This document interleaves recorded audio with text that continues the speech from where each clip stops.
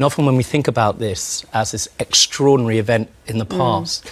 we forget about the fact it's like uh, my family, my mum's talking about ordinary people living ordinary lives. Um, those were the six million victims, one million of them children.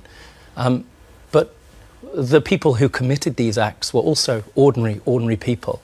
And essentially, at the heart of this as well, the bystanders. Yeah. There's a phrase that we all know, but we forget. It's like a scary echo, yeah. especially at the moment in the world.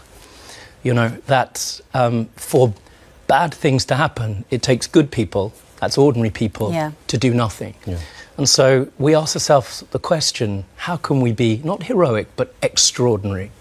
And this year is a moment, a call, if you like, for each and every one of us, whoever you are, wherever you are, whatever community you come from, to never be ordinary,